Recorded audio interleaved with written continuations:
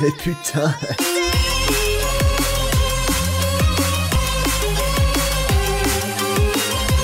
Eh bien bonjour YouTube, comment vas-tu? Aujourd'hui on se retrouve pour une nouvelle vidéo et non, cette fois-ci, nous ne tournons pas en live. Vous savez, sur cette chaîne, j'ai l'habitude de tout faire euh, mon contenu en live.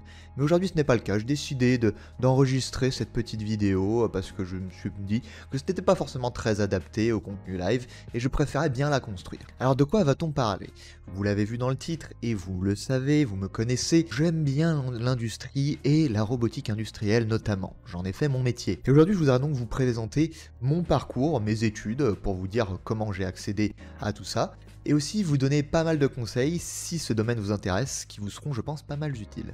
Alors j'ai déjà fait une vidéo pour présenter mon métier, donc je ne vais pas en refaire une, je vous invite d'ailleurs à aller la voir, vous aurez un peu plus de détails sur ce milieu magnifique qu'est la robotique. Donc si ce domaine vous intéresse, eh bien merci d'être là, cela pourrait aussi aider les plus jeunes d'entre vous, euh, qui chercheraient encore quoi faire dans la vie, hein. c'est pas forcément facile. Alors commençons.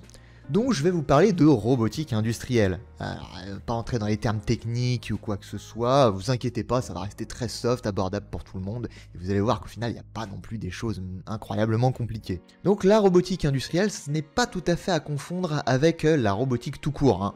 Pense qu'on a tous vu un peu les robots de Boston Dynamics sur YouTube. N'est pas tout à fait ça. Encore une fois, je vous invite à vous référer à la vidéo que j'ai faite là-dessus. Je ne vais pas vous parler de ça parce que bah, j'y connais pas non plus spécialement grand-chose. Tout ce que je sais, c'est que si vous êtes intéressé par ce milieu-là, tournez-vous vers une école d'ingénieur. Ce sera le plus adapté et c'est le meilleur parcours pour pouvoir accéder à ce domaine qui est encore plus complexe que le mien. Donc, attaquons sur mon parcours qu'ai-je fait pour en arriver là? Donc, roboticien, ça sonne joli, mais contrairement à ce que certains pourraient penser, je ne suis pas ingénieur. je suis technicien, ce qui veut dire que je suis détenteur d'un bac plus 3. Et donc, je m'en vais vous le décrire en détail tout de suite. Alors, je précise que ce n'est qu'un parcours parmi tant d'autres, mais on va dire que si vous voulez aller sur de la robotique industrielle, de l'automatisme ou ce genre de choses, c'est un des parcours les plus adaptés pour y arriver. Donc commençons par le lycée. J'ai fait un bac STI 2D, donc sciences techniques de l'ingénieur, développement durable. Euh, vous allez voir que les noms des formations sont bien longues à chaque fois. Hein. Avec mon bac en poche, je suis donc parti sur un DUT génie électrique et informatique industrielle, et j'ai ensuite enchaîné sur une licence LR2I. Tenez-vous prêts pour le nom. Alors, c'est une licence pro système automatisé réseau et informatique industrielle parcours robotique, le tout en alternance.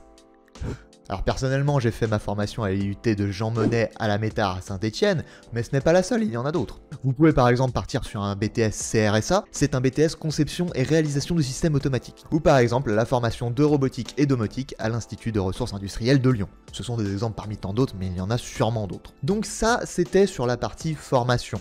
Bon, très simple sur le papier. Euh, je vous encourage à vous renseigner davantage pour voir si ce sont éventuellement des choses qui vous plaisent, à faire des journées portes ouvertes, des salons de l'étudiant, euh, ce genre de choses. Alors c'est vrai que sur le papier comme ça, c'est un monde un peu technique qui paraît un peu fou, un peu compliqué avec des notions peut-être un peu complexes, mais je vous rassure, quand on y est, c'est pas non plus la mer à boire. C'est comme tout, hein. quand on sait, c'est facile. Quand on sait, c'est facile. Chipster 2021. Donc ça fait plusieurs années que j'exerce ce métier et je vais vous donner quelques petits conseils. Le premier conseil que je peux vous donner, c'est anticiper mais genre Comme la roule 34 sur internet. Euh, tapez pas ça hein, sur internet. Hein. Si vous pouvez y penser, ça arrivera.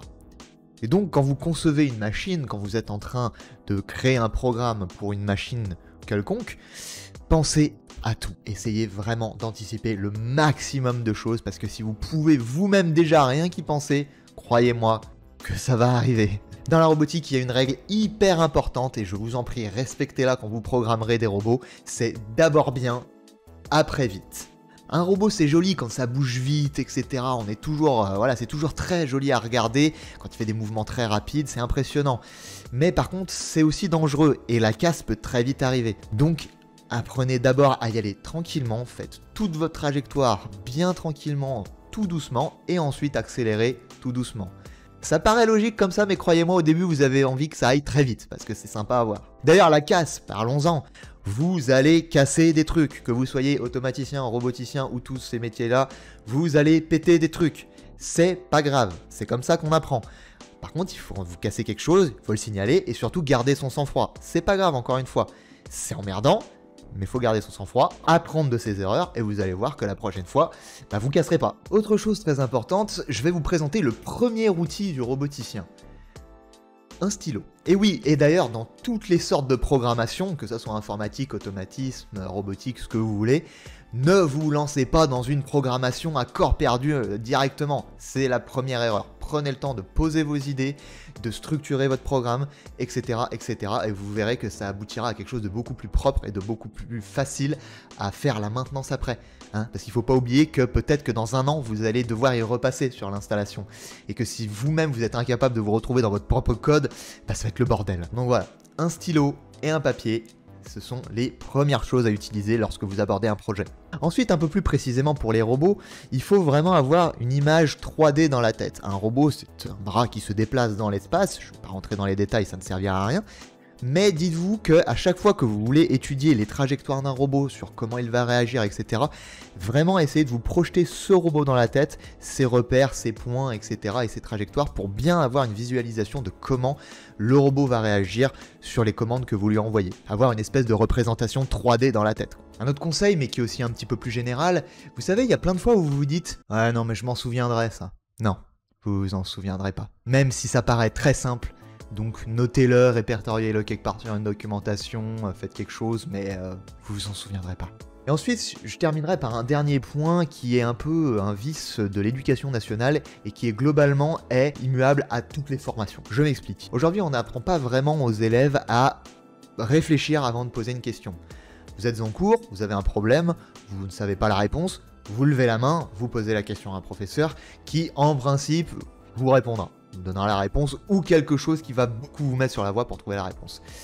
C'est dommage, parce que ça, c'est pas la réalité. Parce que quand vous êtes sur une installation en atelier ou à l'autre bout du monde, ou à l'autre bout de la France, etc., vous n'aurez pas toujours un collègue sur qui vous pourrez compter. Donc, vraiment, apprenez déjà à essayer de vous débrouiller par vous-même. Si vous bloquez une heure sur le même problème, là, vous essayez de l'appeler de l'aide. Avant, essayez de trouver la solution par vous-même. Déjà, vous verrez, c'est beaucoup plus gratifiant. Et de deux, vous ferez moins chier vos collègues, hein, parce que je vous assure que quelqu'un qui vient toutes les 30 secondes pour vous poser des questions s'il avait cherché ne serait-ce que deux secondes, il aurait trouvé la réponse, eh ben c'est vraiment pénible. Ça sent le vécu. Hein. Outre le fait que ça sente le vécu, j'ai été comme ça. Et ça a failli me coûter cher d'ailleurs, donc faites très attention avec ça. Globalement, que vous soyez dans n'importe quelle formation, si vous êtes confronté à un problème, apprenez à essayer de le résoudre d'abord de votre côté, avant vraiment de tout de suite appeler à l'aide.